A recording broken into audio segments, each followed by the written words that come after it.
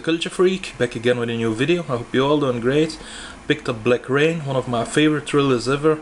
Normally I would put this movie between my other pickups uh, that I shoot in a video after a few weeks uh, and show it, but because uh, it's always been one of my favorite movies, I thought I'd make a short video about it. Uh, let me know guys, have you seen it, do you like it, what do you think about this movie? I think it's really one of the best thrillers ever.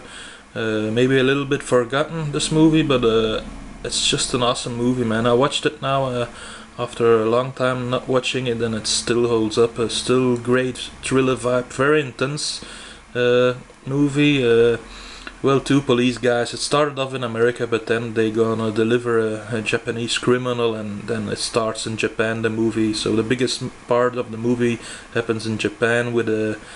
A, motor, a Japanese motorcycle gang and really good uh, Japanese uh, actors, I think. Uh, really a cool cast as you guys can see. Michael Douglas, uh, yeah, I always enjoyed him. Andy Garcia, just a great thriller. This is the special collector's edition. It's got a few extras, uh, like the commentary by Ridley Scott, uh, as we all know from Alien. Uh, so a few others, small extras, but really a cool movie. Uh, I always enjoyed it a lot. As I say, I say it's one of my favorite thrillers ever. Black Rain.